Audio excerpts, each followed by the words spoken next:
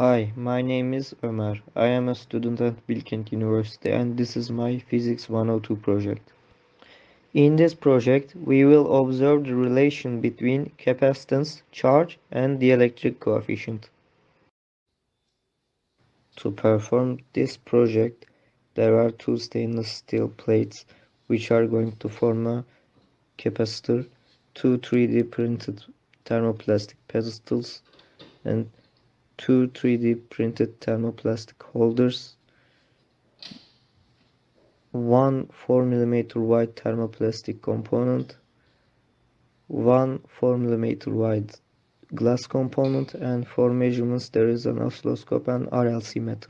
Firstly we will perform the experiment with air filled in the 4mm space between the steel plates. Oscilloscope has been connected to show waveform and frequency of the applied voltage 1 volt and 50 Hz has been applied through all the stages of the experiment.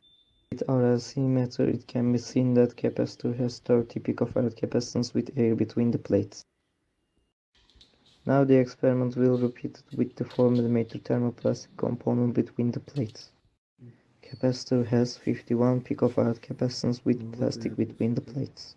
Finally, the experiment will repeat it with 4mm glass component between the plates.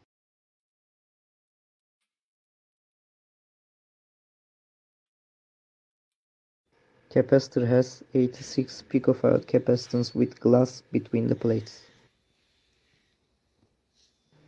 In conclusion, it can be said that bigger the electric coefficient let us obtain bigger capacitance values and since charge increases in direct proportion to capacitance, bigger the electric coefficient provides more charge.